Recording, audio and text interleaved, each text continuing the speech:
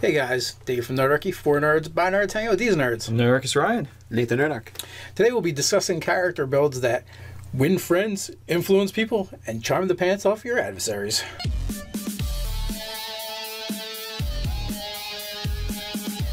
Drop down in the description below where you can find Nerdarchy, the newsletter. Learn how to game with Nerdarchy as well as get RPG tips delivered right to your inbox.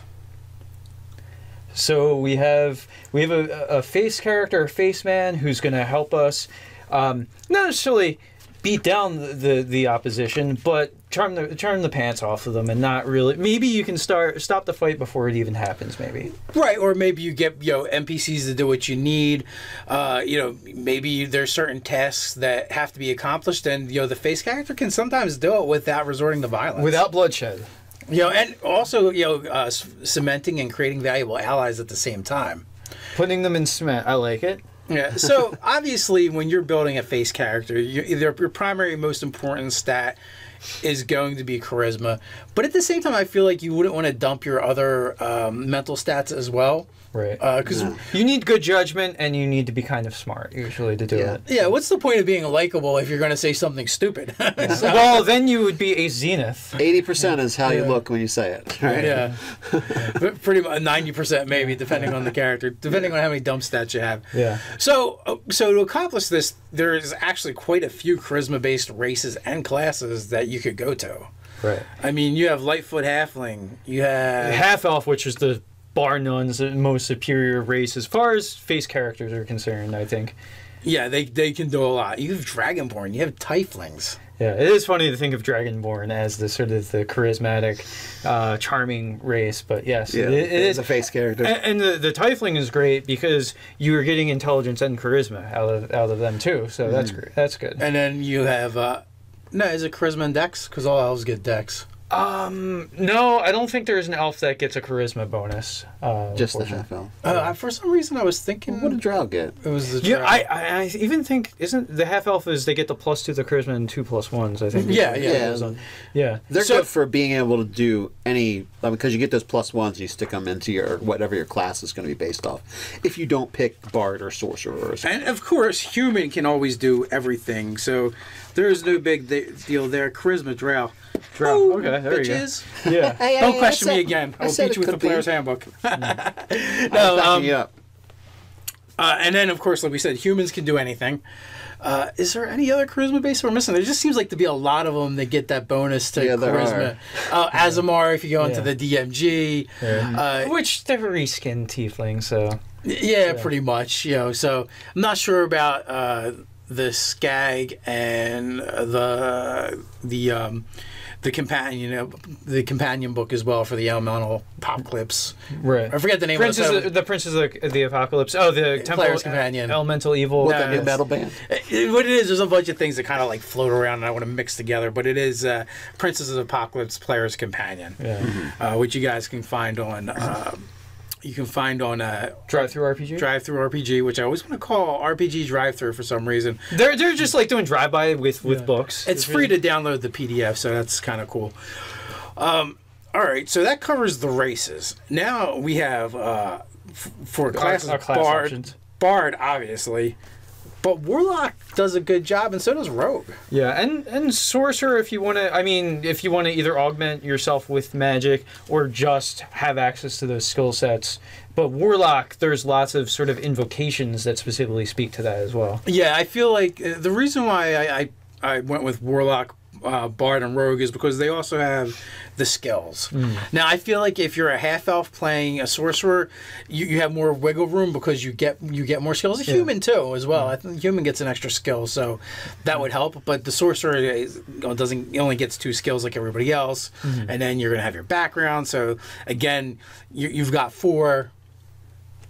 You know, where if you were a half elf, you know that's six. Or if you happen to be one of the other classes that get a lot of skills, you know that bumps up quite a bit as well. Isn't I forget where it is, but isn't there a rogue mastermind archetype? The Mar- mastermind is in the SCAG. SCAG. yeah, yeah. isn't that ridiculously good? We would say that They're really good. at Hemsworthy manip- would have been yeah. that. Yes. W- uh, he is that. We uh, Okay, we, you we we reskinned it or re, re readjusted because it made a lot of sense for the character. Now, I would say the benefit of sorry, Oh yeah, no, I was saying yeah, mastermind absolutely. Uh, we, we did mention and Rogue. Yeah, so- so Rogue, yeah, Rogue with that, and uh, one thing to keep in mind is that they get a lot of feats, and I feel like if I was going to build uh, a face character, it would be based off of a lot of feats.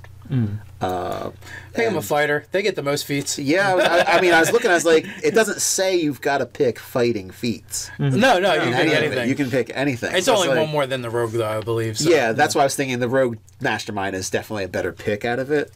So while you're Oh, talking, I would also, while we're broadly talking about classes, honorable mention, especially if you don't play by RAW, but um, some iteration thereof, the Enchanter Wizard, because you can make friends. yeah, And, maybe. and, and But- make them in, be influenced. Yeah, I mean the the real problem is, as written, the Enchanter sucks because everybody knows that you uh, mess with their mind. Yeah, you got to wait till like what 14th level or something. Like that's a one effect. Yeah, so that you're actually good at the thing you do. For Yeah, and once, game. once you've once you've mind raped them, they always know. Yeah. Uh, so it, it, it does kind of nerf your ability. Like it, it's a one off. You can't go back to that person because they're not going to like you after you've fiddled with their mind the first time. Basically, you may well just be a charlatan uh, wizard enchanter because, like, running your scams, you may as well just keep traveling the realms and never go back to the same place ever again. Or you always use a different identity. Yeah, exactly. Which would be really good to uh, pick actor with that as well. Actor's just really all good, all around good for a feat. For, as far as um, a role playing heavy feat. Oh yeah, yeah. So are there any other feats that you would uh, that you're thinking of for for the face build? Uh, yeah. As soon as I find the feat section, like there's I'm keen mind. I know how to use this book. I swear. Yeah. Oh yes, keen mind was one of them. There's- Linguist is also another good one because if you can't communicate with people, For the cost of a feat, It you is- can it actually is expensive. You can you can just kick up 250 gold and learn a language and it not is spend a it- on it it. is expensive. Yeah. I would agree. the I- time requirement is. Tough. I That's would hire tutors. That's really what it comes down yeah, to. if you if Can I you've get got- tutored around the clock to make If this happen? Not a wizard, you'll be able to afford it. Yeah, pretty much. Yeah. Um, the other, the skilled feat, if you just want more access to more things. and Yeah, there's that as to- well. Yeah. So, uh, especially to the um, any of the classes that don't get a particularly good amount of uh, feats, um, or I mean Mm, skills. skills, yeah. skills, yeah. Well, so you know, going with that, but then again, like you know, hum- if you go human or half elf, and you actually play a class that is skill heavy, mm. you really don't you don't really need the extra skills so much. Yeah. You you pretty much have it covered. At that point, you're going way out of the realm of the face, Yeah. which is fine if that you know if that's the character you want to play. And I know this is an overall just great feat, but lucky.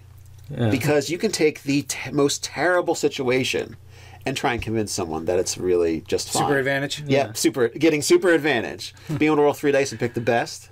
My character farts so I can get disadvantage, and now I'm going to use lucky and make it super advantage. yeah. And you know, I would think that a lot of the fun of using that the feat ability Is would how be to spin it. Yeah, How how, to does spin- how do you spin this to make it seem like yeah, this makes sense that he got really like he's got the luck. yeah. Uh, so whether you go, if you go bard, I don't feel like your archetype matters all that much. Um, No, no. uh, I feel like either Fey or Fiend works better for. Great Old One is just like no, the Cthulhu thing. Like you're, You're kinda usually kind of leer- odd and off-putting, so I don't think that. Yeah, but I feel well. The, the fiend, both the Fiend and the Fey both have abilities that complement Yeah. uh, co- complement the face character. Yeah. Like, uh, what is it? Devil's Own Luck is an extra die 10 that you get to add in, I think, once per short rest or long rest or whatever it is. So Does that probably that that's one get some kind of beguile? Yeah, they get they actually w- one of their first level abilities is like related to charming people. So there's well, that's the Fey, yeah. Yeah, Fey yeah. Well, also, so the thing about the Great Old One is they do eventually get a thrall ability. so you kind of just like, yeah, you know, I'm just so charming that I do enthrall people. Making friends and influencing people one person at a time. Yeah. yeah.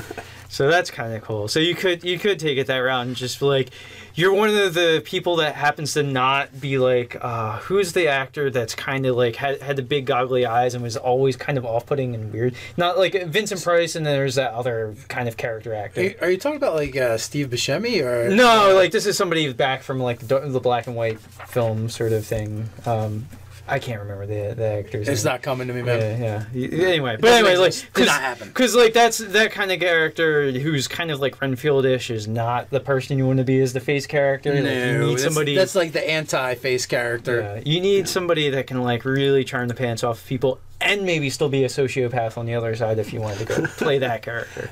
And uh, one more one more feat on the topic of feats. I would say inspiring leader doesn't make you better at Mm-hmm. the face character, but it makes you like a more complete face character. I It, ma- feel it makes sense, yes. And, uh, it gives you know more. Uh, it makes you more useful, more utility. Yeah. So, all right. So we've thrown a bunch of things out there. What about backgrounds? Like, obviously, the charlatan. Wait, wait. is a I want to make an honorable mention for if you wanted to play an atypical paladin who's not optimized. Again, another sort of face character sort of thing, but with like a divine sort of emphasis. No, that, that actually does work. I mean, a paladin would make an excellent diplomat. So, And cleric, cleric too, because you're really good at spreading the faith if you're uh, face oriented, outward facing. yeah. Again, like as long as you go with like the half elf or the human, Uh, it'll it will it'll make up for the deficit of uh, skills. yeah. And, and not only that, you, it also lets you put them where you want them. So, yeah, yeah, super helpful. so, so that does help. Although the paladin with the actor feat,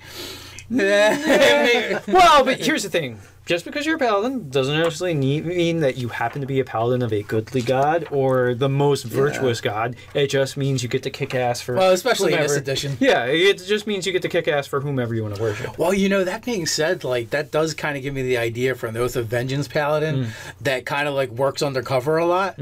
Uh, so that totally like the, the totally the face aspect would totally work. Yeah. And and You could do like an Assassin's Creed sort of thing. Like that was kind of like a Holy Order assassin sort of thing. So the Vengeance, it kind of does work. Well, yeah, there used to be a class. The uh, was it Inquisitor? The, and That all- was like the Holy Assassin. Yeah, well, and that exists. Um, there's an Inquisitor and Pathfinder as well. Yeah, Um, it and was there, in third edition. There was a third edition f- for Eberron that had come out as well. So, they're both of those things. still Well, no, there was the um. So there was the Inquisitor, like Eberron, but that was like a detective type character. Mm-hmm. But then there there was also a different one in third edition that came out at some point where it really was like, and it was also in Pathfinder. Um, essentially, essentially, it was like the holy assassin type Right. character. yeah. Um, so yeah, so they're- they're definitely in there, and that's definitely a possibility to go a bit uh, darker. But I kind of like when I think face character, I think of uh, face from the A Team. You know, that's like that's my quintessential Yeah. face character. Right. You know, he knows a guy, he's got the contacts.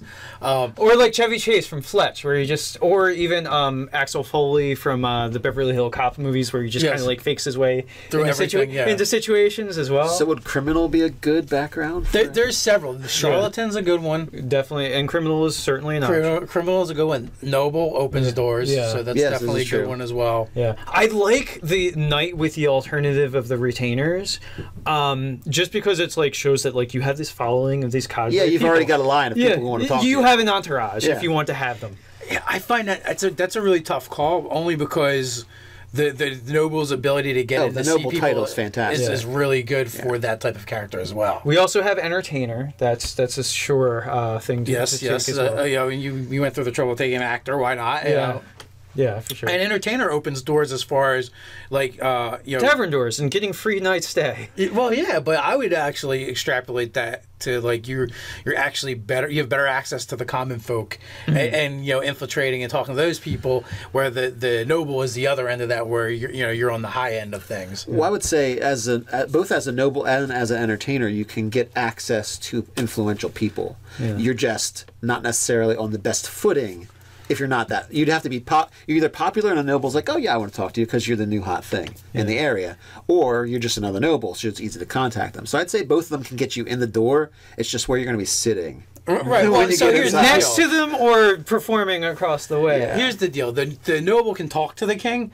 Uh, the entertainer can talk to the guy that talks to the king when he hires the people to come in and entertain. Yeah. And then you can assassinate the king.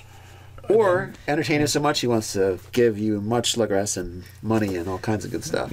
Lands and titles. Yeah. Yes. I mean, And that, you're that's what actually- happens in stories. Yeah, right? or you're actually a bard who's like doing mind manipulating like a suggestion spell or something like that. Oh, yeah. Yeah. yeah. Enchanter with the entertainer background. Or well, no, you could do sorcerer and you have suggestion spell, and then there's the one that um, there's the meta magic feat that doubles the duration. So for 16 hours, the king thinks it's a great idea. Whatever the you great lands and table titles or whatever.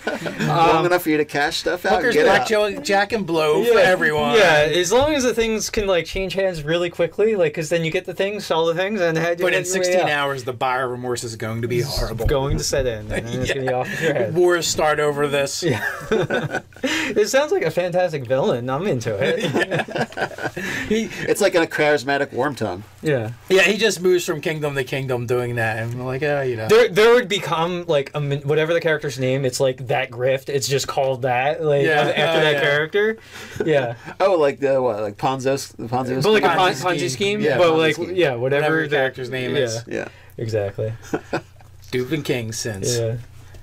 So, you guys, what do you think? What is the ultimate face character in your game? How, tell us about the characters you've built. and Or the best scams or grifts you've pulled off. Absolutely. But put it in the comments below while you're at it. Like, share, and subscribe. You can check us out over on Facebook. Also join us on nerdarchy.com. So until next time, Stay nerdy.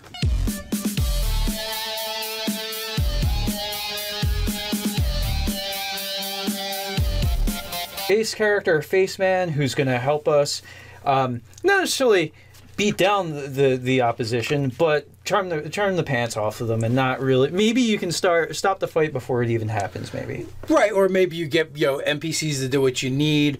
Uh, you know, maybe there's certain tasks that have to be accomplished, and you know the face character can sometimes do it without resorting to violence. without bloodshed you know, and also you know uh, cementing and creating valuable allies at the same. pretty much ninety percent maybe, depending on the character, depending on how many dump stats you have. Yeah. So, uh, so to accomplish this, there is actually quite a few charisma-based races and classes that you could go to. right I mean, you have Lightfoot Halfling. You have half elf which is the bar none's most superior race as far as face characters are concerned i think Yeah, they they can do a lot. You have Dragonborn, you have Tieflings. Yeah it is funny to think of dragonborn as the sort of the charismatic uh, charming race but yes Yeah, it, it is a face character. And, and the the Tiefling is great because you are getting intelligence and charisma out of out of them too. So that's Mm. great. That's good. And then you have uh no, is it Charisma and Dex? Because all elves get Dex. Um, no, I don't think there's an elf that gets a charisma bonus. Uh, Just the half elf. Uh, for some reason, I was thinking What did Drow get? it was the Yeah, I, I I even think isn't the half elf is they get the plus two the charisma and two plus ones. I think. Yeah, yeah. Yeah. Hey guys, Dave from Nerdarchy, for nerds, by nerds, hang out with these nerds. Nericus Ryan. Nathan Nerdark. Today we'll be discussing character builds that win friends, influence people, and charm the pants off your adversaries.